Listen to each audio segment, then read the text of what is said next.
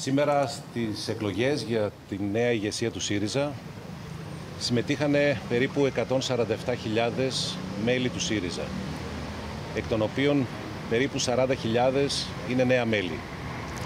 Καλωσορίζουμε τα νέα μέλη και ευχαριστούμε όλους και όλες που συμμετείχαν στις εκλογές.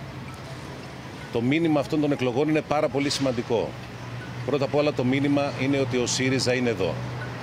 Δεν είναι μόνο η αξιωματική αντιπολίτευση της χώρας, αλλά είναι και ιδιαίτερα ενισχυμένος. Υπάρχει μια εντολή της κοινωνίας, ο ΣΥΡΙΖΑ να είναι δυνατός, να είναι παρόν, να είναι ισχυρή αντιπολίτευση, να καταθέσει την πρόταση για την επόμενη κυβέρνηση της χώρας.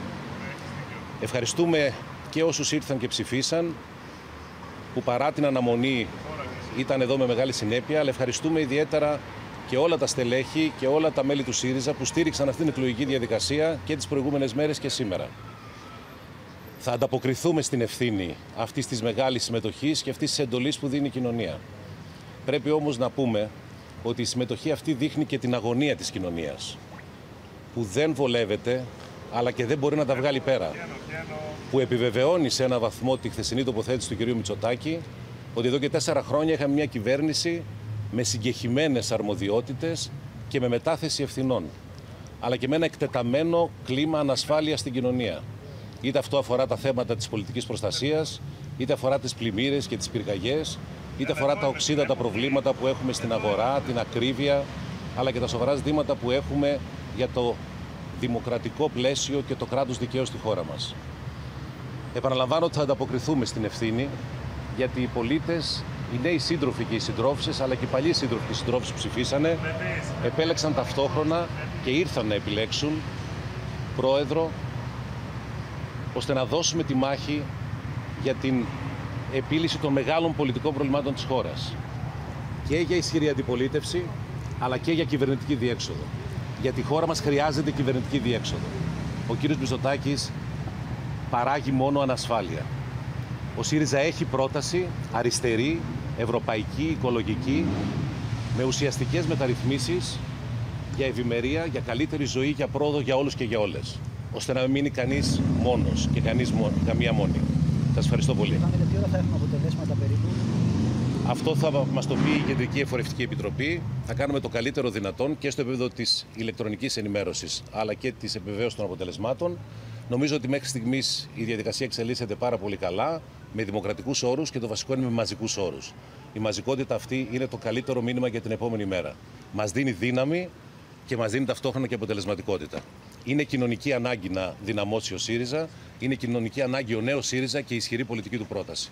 Είναι ανάγκη για το καλό της χώρας, για το καλό της κοινωνίας και για το καλό της οικονομίας. Είστε αισιόδοξος για την ενότητα του ΣΥΡΙΖΑ την επόμενη μέρα; Είμαι αισιόδοξος γιατί συμμετέχοντας στην πολιτική, όλοι και όλες, ως ενεργοί πολίτες, αλλά και ως αριστεροί και αριστερές, είμαστε αισιόδοξοι γιατί διεκδικούμε το καλύτερο. Διεκδικούμε την κοινωνική δικαιοσύνη, την προκοπή όλων. Από αυτή την άποψη, λοιπόν, μόνο και το καλύτερο συμμετέχουμε στην πολιτική. Και η ενότητα και η συλλογικότητα δεν είναι μόνο η δύναμή μας, είναι και η παρακαταθήκη που έχουμε και θα την προφυλάξουμε όλοι και όλες. Υπάρχει περίπτωση να μην δούμε δεύτερο γύρο; Νομίζω ότι στην πολιτική οι υποθέσεις δεν βοηθάνε. Στην πολιτική έχει σημασία η δράση. Και εμείς δεν εμπιστευόμαστε την επικοινωνία ή τις υποθέσεις.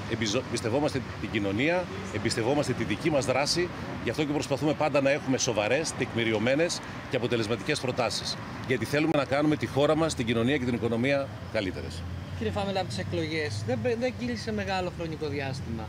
Σε ποιο βαθμό λοιπόν πιστεύετε ότι το σημερινό μήνυμα το οποίο εντοπίζεται ε, πηγάζει από τη διαχείριση της κυβέρνησης σε μια σειρά από υποθέσεις και δύσκολες καταστάσεις και δεν βασίζεται, βασίζεται κατά πόσο βασίζεται ή όχι στην ε, τακτική του ΣΥΡΙΖΑ από τις εκλογές και μετά, στον προγραμματικό του λόγο ή στην αντιπολίτευση που άσκησε μέχρι τώρα.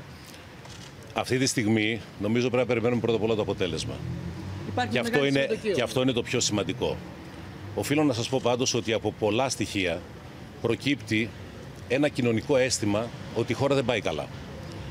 Και πράγματι είμαστε πολύ κοντά στις εκλογές και οφείλουμε να αξιολογήσουμε πολιτικά αυτή τη γρήγορη πολιτική εξέλιξη. Εμείς όμως παραμένουμε με ένα σκοπό. Είναι ο σκοπός για τον οποίο συμμετέχουμε στην πολιτική. Να πηγαίνει η κοινωνία καλύτερα. Άρα, εμείς θα κάνουμε ό,τι είναι δυνατόν και θα καταθέσουμε προτάσεις και προφανώς θα καταθέσουμε ξεκάθαρη κριτική στον κύριο Μητσοτάκη, γιατί τα πράγματα δεν πάνε καλά. Αυτό το βλέπουν οι πολίτες. Το αισθάνονται από πάρα πολλές πληροφορίες, εμπειρίες στην καθημερινότητα. Και εμάς δεν μας αρέσει που δεν πηγαίνει η χώρα μας καλά. Το ξεκαθαρίζω στην πολιτική δεν είμαστε για να χρησιμοποιούμε αρνητικά στοιχεία για να κάνουμε αντιπολίτευση.